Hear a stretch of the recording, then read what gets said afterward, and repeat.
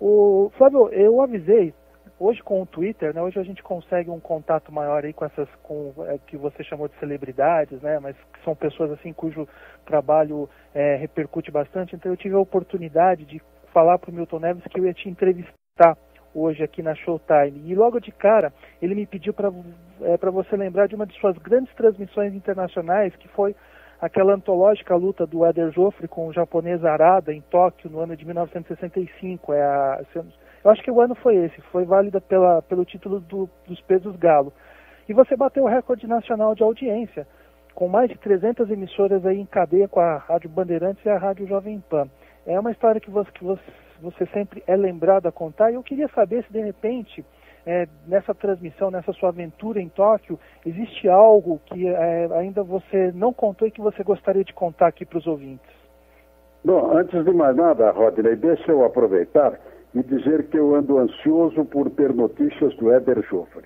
É, Éder Joffre é daquelas figuras do meu tempo de transmissões esportivas, das pouquíssimas com quem eu mantenho contato pessoal de amizade. E nós falávamos rotineiramente, eu não vou dizer que toda semana, mas era muito comum eu chamá-lo, ele me chamar e nós rememorarmos e nós colocarmos o papo em dia. Depois que ele sofreu esse problema de saúde, ele mudou-se, eu não tive mais contato com ele, como eu não vivo em São Paulo, eu não tenho esse contato.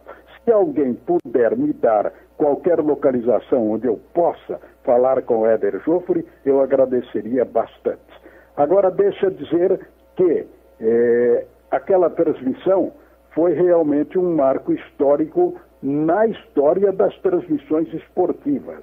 Se nós relembrarmos a Copa do Mundo de 1958, onde o Brasil ganhou seu primeiro título mundial, houve o recorde nacional de audiência do rádio no seu todo. Mas havia o número de 13 emissoras transmitindo, é, do Rio Grande do Sul, por exemplo, duas, tantas de São Paulo, do Rio de Janeiro, de Minas Gerais, cadeia do Nordeste se formou para a transmissão. Então havia uma divisão equitativa no território nacional. Na transmissão de 1965, no Japão, não houve absolutamente nenhuma concorrência. Eu deveria transmitir em dupla com o Braga Júnior, eu pela Bandeirantes, ele pela Jovem Pan, que na época não era Jovem Pan, era Rádio Pan-Americana ainda. E na última hora, ou alguns dias antes, o, o Tuta, que você sabe, conhece o rádio, sabe que é um um cidadão bastante econômico, é, confiou no meu trabalho, nós nos dávamos bem nas conversações que tivemos e ele achou que a transmissão deveria ficar somente a meu cargo. Nesse caso, houve um comando duplo, Bandeirantes e Pan-Americana, mas com apenas um locutor. Nem comentarista eu levei. A transmissão se fez com a Bandeirantes comprando o circuito em 320 emissoras de todo o território nacional.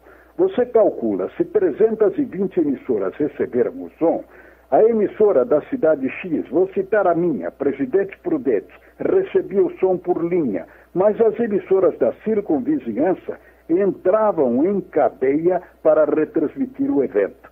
Então é impossível sequer se calcular o número de emissoras que se reuniram para irradiar aquela luta que chegou aqui às 8 horas da manhã, a luta seria à noite lá no Japão, o país do sol nascente, com um tempo de 12 horas adiantado ao nosso. Chegou aqui pela manhã. Ainda outro dia eu li um artigo do, do, do, do Menon, que faz um blog e é inserido no UOL.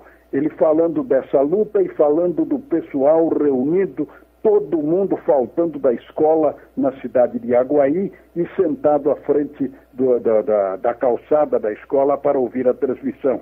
Eu até tentei me comunicar com ele para é, tentar reencontrar alguns amigos que eu tive nessa cidade de, Havaí, de Aguaí, mas não tive resposta. Mas, enfim, é, esse artigo que ele escreveu é, reproduziu o que foi aquela luta em todo o território nacional desde os estados do norte até do sul. Houve ainda um outro detalhe. É, eu transmiti a luta e vi na luta uma vitória do Éder Joffre indiscutível.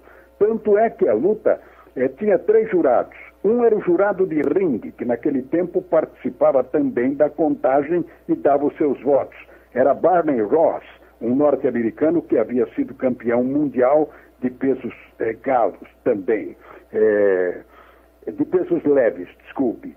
E ele deu a sua votação favorável ao Éder Joffre. Somente os dois jurados japoneses é que votaram no Masahiko Harada, é, o Fighting Harada, o adversário de Éder.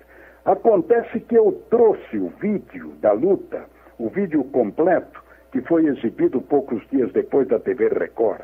Quando eu cheguei ao Brasil, os jornais estavam divulgando todos que eu tinha feito patriotada, que era comum nos locutores brasileiros, que nós sempre eh, deixávamos a verdade de lado para exaltar os nossos valores e que eu dera a vitória para o Éder Joffre, isso não era verdade. Depois que a TV Record passou a luta, formando como se algo ao vivo, com uma equipe de jurados independentes, ficou flagrante que o Éder Joffre tinha vencido a luta e até com uma boa margem de pontos. Dessa forma, essa luta se não está no Guinness Book, foi porque eles jamais se interessaram em fazer uma pesquisa a esse respeito e eu não ia mexer no assunto de forma nenhuma. Mas foi indubitavelmente, de forma individual, a maior audiência que uma transmissão esportiva já teve no Rádio do Brasil.